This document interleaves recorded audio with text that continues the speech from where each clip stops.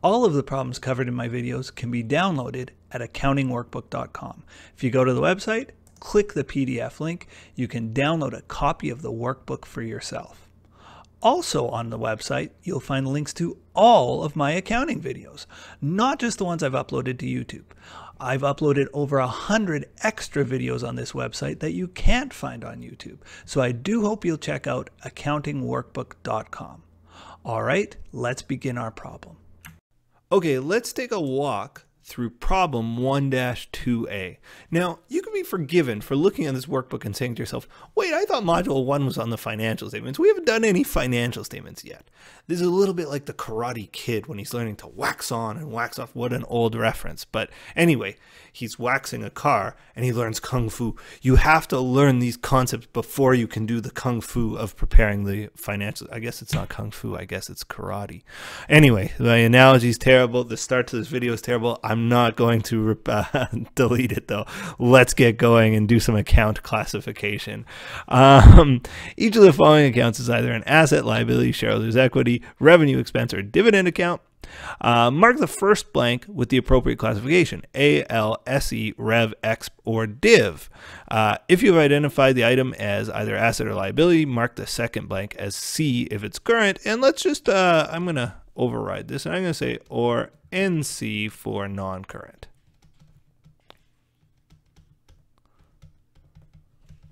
Okay, so let's get to it. The first item on our list here, long-term investments. Uh, we've got to say to ourselves, okay, well, uh, what is a long-term investment to a company? Is it, first I always think asset or liability or shareholders equity account, and the answer is yes, that is indeed an asset. It's something a company can own or control that a company should want to own or control. That is absolutely an asset. Now we got to say to ourselves, is that current or not? And the answer is not. Why? Because they say long term. I should distinguish here. What do we mean by current versus long term? This is our first time discussing this. Uh, so anyway, I'll leave that as current um, or non-current rather. Current just means do we expect it to exist basically as it is for more than a year? Or do we expect it to be gone within a year? So an example of a current asset would be um, accounts receivable. Accounts receivable is when somebody owes us money, they, they uh, have to pay us. Typically, they have to pay us in less than a year. Maybe inventory. Walmart has inventory. Inventory sitting on the floor. It's the stuff that Walmart's planning to sell us. Uh, that is a current asset. Walmart expects to sell that within a year. That is current. Non-current, if I'm looking at Walmart, uh, would be their shelves, like literally the physical shelves that they keep the stuff on. That's they're not going to sell that. They're not going to turn that over in a year. They they're going to keep that for several years, tens of years even. Uh, the building, uh, Walmart building, is uh, another non-current asset. So again, we expect it to last more than a year. I always call that long-term in my mind, but the distinguishing feature here is one year. For liabilities, when I get a phone bill and I haven't paid it yet, I got to pay in 30 days. That is a current liability. We call it an account payable. Uh, for long term or non current liabilities, think of the mortgage or the longer term bank loans or notes. These are uh, long term or non current liabilities. Okay, so accounts receivable. I've given this one away. Anytime you see the word receivable, think asset somebody's going to be paying us in the future. That's going to create a future economic benefit for us. That's the definition of an asset, right? We're going, it's something you should want to own or control. And yes, we do control accounts receivable.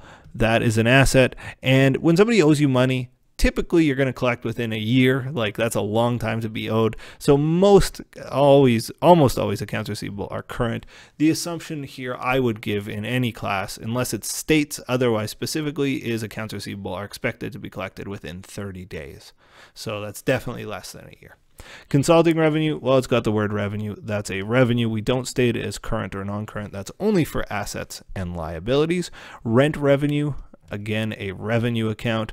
Computer. What is a computer? Well, it doesn't have the word revenue in it. Uh, you might think, oh, it's an expense. You got to have computers. That's a cost. Well, computers are an asset, right? They're things you can own and control. I'm, I'm typing this on a computer right now or, or delivering this through a computer. This is an asset of mine. Uh, and uh, now you've got to ask yourself the question current or long term you say well computers you just got to you know keep buying new ones and if a company is turning over their computers in less than a year, I think you could argue to, to call them current. But uh, I think most companies would expect to get more than a year out of a computer. I've gotten two or three out of this one, and I'm going to get two or three more. I imagine they are absolutely long term or ah non current. Sorry, I always I my brain thinks in long term, but most modern textbooks now just say it's either current or not current. I, I think current or long term in my brain. I think that's old school thinking. Uh, mortgage payable. Well, there's another magic word. I mentioned receivable is a magic word indicating asset. Payable is a magic word indicating liability. And uh, you can think mortgage like it's something you owe. So, absolutely, it's a liability. And uh, is it current? Not very often, right? Only in the last year. But I would say this is absolutely a non current uh, liability. My mortgage is a 30 year mortgage, uh, and that is not unusual.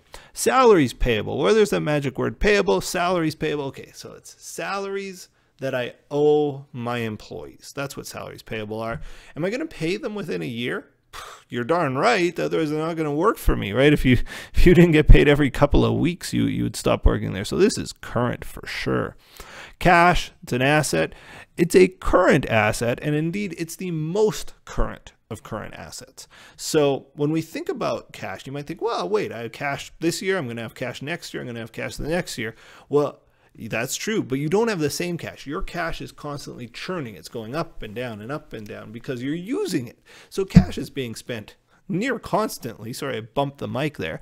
Uh, so that makes it the most current of current assets. Equipment is an asset. It's something you can own and control. It's good to own and control. And it is non-current. It lasts several years. Retained earnings. We haven't talked that much so far about shareholders' equity accounts.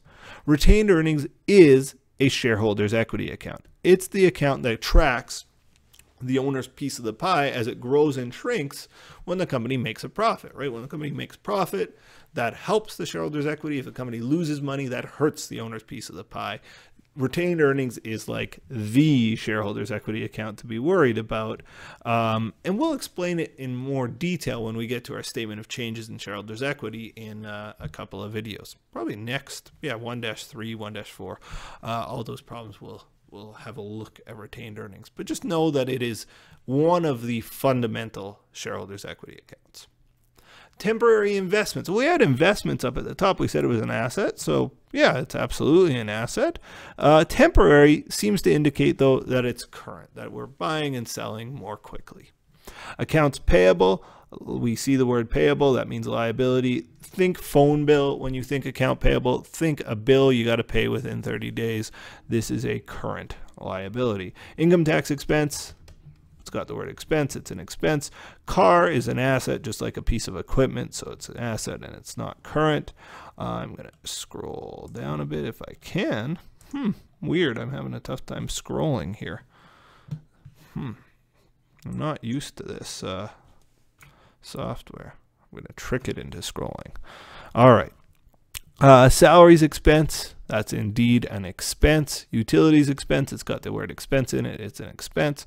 Land is an asset, and that is a non current asset or a long term asset.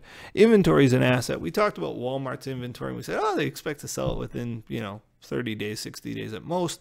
Uh, that's a current asset for Walmart. You might say, well, what about Toyota? They their inventory, the stuff they own that they're planning to sell, that's inventory.